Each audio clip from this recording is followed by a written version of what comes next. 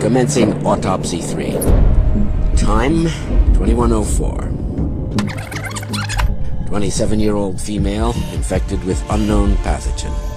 Blood analysis indicates virus. Provisional name is PAX-12.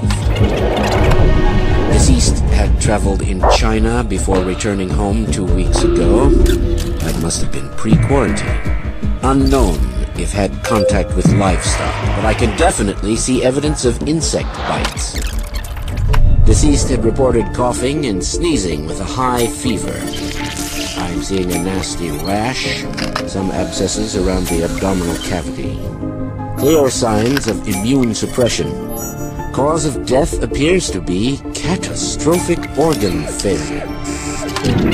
Findings match reports coming out of China. This is highly concerning. The deceased may still be infectious.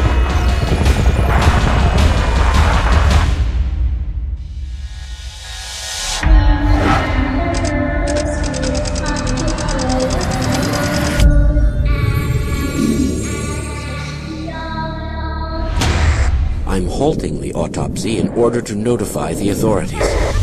Request a full lockdown of this facility. Effective immediately.